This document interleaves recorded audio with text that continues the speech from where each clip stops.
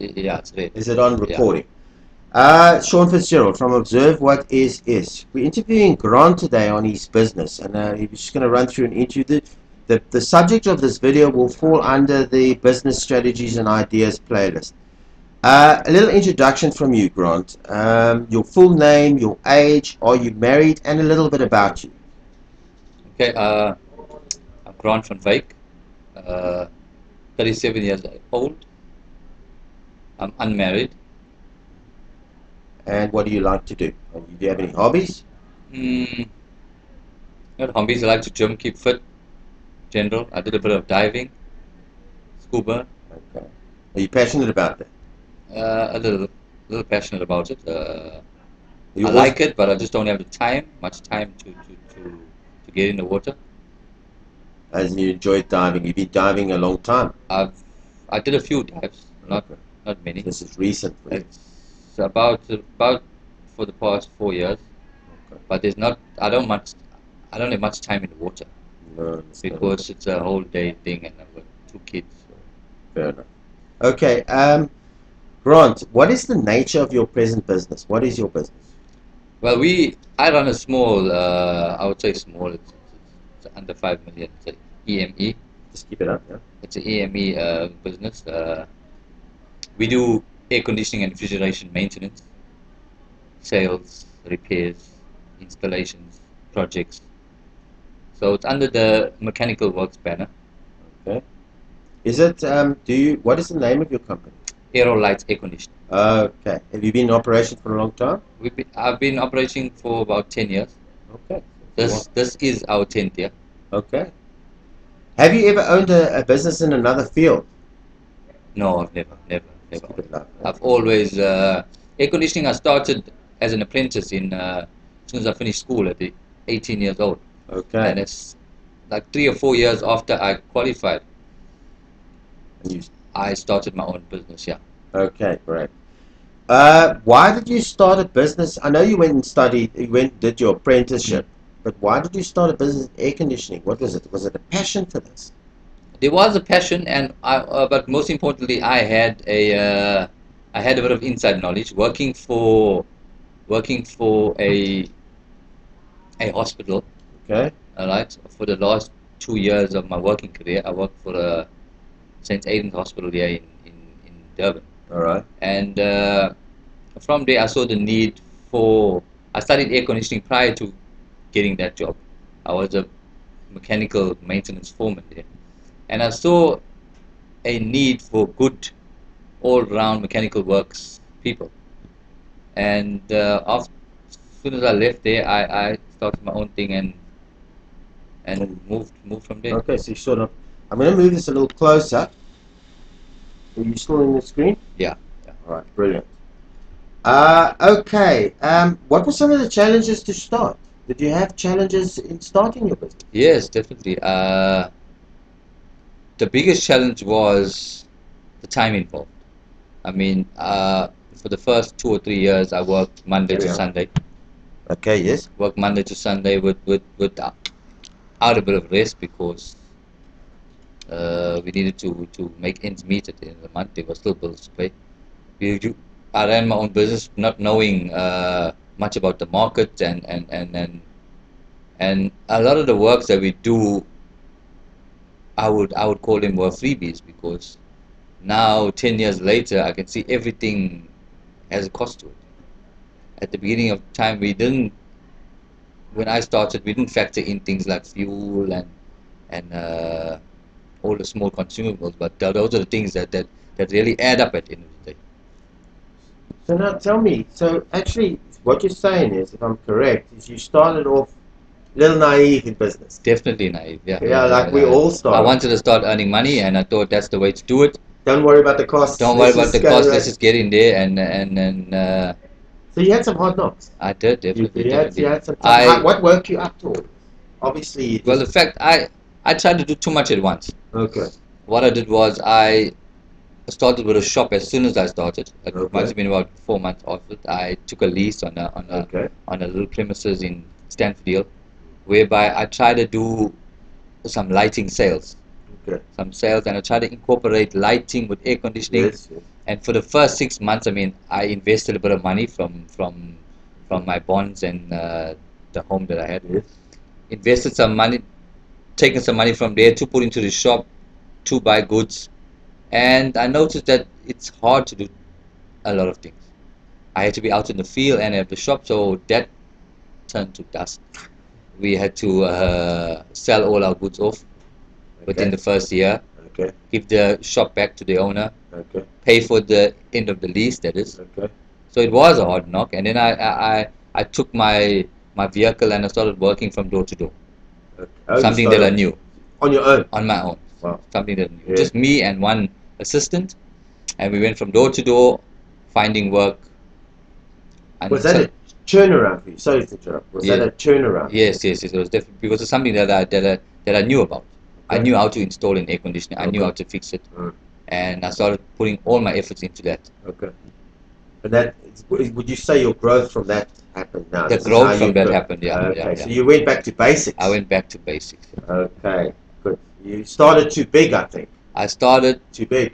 Too right? big, too big. Yeah, Yeah, yeah. I started too big, expecting a flow of people. Okay. You know what I mean? Without doing much research into the market. Okay. So that that's a that's a good lesson you, you That- learned that definitely good lesson. can- Yeah, yeah, yeah. Pick up That you got to keep your cost down. So will you whatever the case suggest for a, well, uh, I'm picking up, you said start small. Start Start, small. with what you know small and then grow. Don't And just go and buy, get big. Definitely, definitely, definitely. Don't don't do the. I was lucky as well because I had a plan. All right. As soon as I finished my time, Yeah. I knew that air conditioning and refrigeration is sort of a one-man band. I'm gonna call it. Okay. Meaning that you can jump in your bakkie, Okay. grab an assistant, Okay. and go out and do work. Nothing really had to come to the workshop for. yes. You didn't need a premises to do it. And Yeah. I was naive that time to think that I needed the premises and I needed people to come and have a look. But now, for the moment, I've in a workshop in Springfield Park. It's tucked away in a corner. It's it's in a business park, but I hardly get any visitors. I don't get any visitors Mm, because a lot of this work is over the telephone and Mhm. visiting people. mm, mm, So had I started out earlier with that, that type of knowledge, mm. knowing the market and knowing what people look for, Mm. and maybe I would have I, would have started making money sooner than I than I had. Well, they say they say uh, hindsight is a perfect science. If I knew what I knew then, now if I knew now what I knew It- then, definitely. things would have been different. Definitely, be learning curve. definitely, definitely. Okay, what uh, uh, what are your present? What are the present benefits to you? Are there any benefits to running your own business for you in terms of your home life, freedom? uh, For your, Oh, I, I, I, are there benefits? unfortunately, I during during my ten years of Mm. of of running a business, I've been through two homes, which is beneficial. Okay. You know what I mean? Uh, but I've also been divorced uh, along the way. Okay. So it took a lot out of my family life, definitely. Alright. Because Monday to Friday you had to work, you had stress, you came home with it. Even Yes. though you, you think you're leaving it at, at, at work, you actually came home with all of this Would you say was it cause of maybe? the It- it was- part of it. Part of it, definitely, Okay. definitely part of it. There was not much time at home, for sure, all right, for sure. My Saturdays, and Sundays were, were booked up for sure. At the end of the day. And because this is a service industry, Mm, you sort of on call 24 7. sure. Yeah. Because you're offering a service to somebody, you, you're not selling goods. For sure. Selling goods is easy. You people come pick up the goods and they go. Yeah. Yeah, we had to go to the people. So those type of challenges. So- uh, So, so Definitely put a at, at the moment, presently, is there is there benefits? Are you still working this hard? No, well, well, well. Now, after I would say that this tenth year, Yeah. I can really see there is benefit. Okay. Only in the tenth year. So it took you some time. It took it took me a lot of time to figure out that sort of money comes. Money comes. You you you you can only force for it to a certain degree. You can't over push at the end of the day, you burn yourself out, and tomorrow's like a day off. Correct. Yeah, Because it's a good lesson there. that's definitely. But if you work eight to five, or it's like how I do, seven to four, Mm. and put your eight hours in, that's that's good enough. That should be good enough. No business should really take you from seven to ten in the night. Then, then it's definitely not worth it. But I'm only reaping these, finding out this this this now. This, this is why we're here. We have to the- get this knowledge tent, from yeah. you. Definitely. Um, okay, what are the, do you have present challenges running it? At the moment. At the moment, yes, yes, yes. What kind of challenge can you explain? I would say the biggest would be would would be uh, labor and Labour. staff. Yeah, explain that. The fact that uh, when you're running a small business, competition is high, Okay. especially in the air conditioning industry. I'm not, I'm not, I don't know much about the rest, but in air conditioning, the competition is is stiff, right? And you've got to be almost hundred percent good at what you do, meaning that the moment you drop the ball, you tend to lose favor with your with your existing clients sure. and there's always somebody waiting to get in there. Correct. Meaning that you drop the ball, they pick it up and they run with it. Okay. Now, staffing, training of staff, getting them to the level that, that, that, that you would like them to be is a tough task. Are, are, are people willing to work? Are people? Is it is it a is it a productivity issue, or they're not interested, or is Ah. it just very difficult to learn the aircon industry? Well, the aircon industry is a bit technical, Okay. right, but I've got guys that have been with me for the last 10 years, Okay. and some of them are really good. Alright. and some of them are just hard to grasp. I think I think it's more of a with our business. It's more of a uh, it's a professional business. So the level of professional needed Hmm. is is high. Okay. All right. Okay. So training, training, mentoring, and a way of, uh, the way people present themselves to the clients is important. And this is a challenge. It's a challenge. It's a challenge for you. You just don't have people that are that quality. That, are- that quality, yes, correct. I think that's most businesses. When you when you have a look at our business uh, grant, when you have a look at our, the rest of our business, a lot of businesses uh, say that. I mean, they say that staff is a, is a problem in Yeah, terms yeah. of training and training and and also the labor law these days. I mean, we we've we've got 12, 12 staff. Yeah. We from those twelve staff list, we only work Monday to Friday. Yes. That leaves us with a couple of hundred days a year. Yeah. From that hundred days a year, there's twelve staff that need fifteen days uh, or twenty days leave each. Okay. They all the public holidays are double pay. Sundays are double pay. Wow. So we have got we we are governed by by these laws Yeah. that on Protects them, but that protects the doesn't worker. help you. It doesn't help us because the competition is so high. But but but we are getting there. We are gaining momentum. So that's probably that's your biggest challenge. And your clients, okay? Clients gonna have problems. People paying you. I mean, everybody pays. You, you, you Everybody pays. Everybody. Well, well, well we we've we've learned a Yes. few lessons along the way. Yes. That our paperwork needs to be in order. Okay. We need to uh, work via proper order number. Carry on. Carry on. We need to to get proper letters of appointments. Yes. Yes. we use the job card method whereby you you sign for your goods. Our invoices say that goods belong to us. You know, no, no, Mhm. without 30 days. So all of these things are very important. Okay. Your paperwork, how you take on a job. Right. It's it's it's easy for someone to pick up the phone and say, "Come install 30 air conditioners." You get all excited. You get to the site Yeah. and he says he wants A, B, C, D, and E. Don't worry about the money. Let's let's fill it. Now you're thinking about the about the 150,000 rand job that you got. Yes. neglecting the fact that you just met this guy for the first time. You don't need to know anybody to do work for him, Yes. but at least make sure that you do your basics. Yes. Try look for them on the internet. It'll take you a couple of minutes. Send them a proper quotation with a proper what can, with a proper uh, signature at the bottom yeah. authorizing the job. Okay. Get the letter of appointment from them. Okay. Get it back from them stating that he's employing you 450,000 and for 10 air conditioners. It takes one hour to do and it can save you Save 150,000 rand. 150,000. Definitely. Well, thank you, Grant. Would you recommend the aircon business to people? No, Yeah. that would just be flooding the market. And we don't Okay. No, no, no. fair enough. No. Yeah, yeah, more competition. More Sorry, stay out of the aircon More industry, guys. All right. What are the prospects of the aircon business? Are they good? The prospects obviously are good. the prospects are good, Hmm. but but because it's changing technology, it's it's it's it's it's hard to keep abreast with with But the technology is still the same. I mean, it's going to always just be cooling rooms, but just different devices and different ways of doing it. Isn't that so? Am yes, I right? yes, yes, yes, yes, for sure. But now, uh, health and environment has come on board. Okay. We are we are we need to do things a lot differently. Our also got the technicians need to energy be trained, and the energy factor has come in Yeah. now. Yeah. Eskom is battling to to suppliers to run our stove or, or our kettle. Air conditioning has now really taken a back seat. Yes. So what the inventors have done, they have introduced new equipment which which requires a whole lot of training. Okay. All right. So-. Yeah, yeah, it's an advancing field. That's okay, it. so that's that's really what. But there's a few. Obviously, people need cool rooms. So people, People do always need cool rooms. good area, Durban, for this. In they, they are still people with lots of money out there. Okay. Are there people with willing to buy aircons? There's still people who need to buy it. Lots of people. Lots of people. Yeah. Lots of people still. You wouldn't be in business if there wasn't. There wouldn't be so many of you guys. definitely. Do people? I just want to ask you: Do people have money? People have money today. Is the economy in a good place? There are people with lots of money.